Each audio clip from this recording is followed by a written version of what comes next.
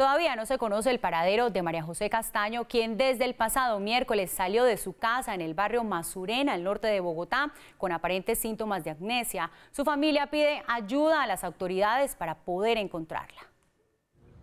Estos videos del pasado miércoles en el que se aprecia a María José Castaño saliendo de la portería del conjunto donde vive y posteriormente pasando por el centro comercial de Masurén son algunos de los pocos indicios que ha logrado obtener su familia desde el día que desapareció.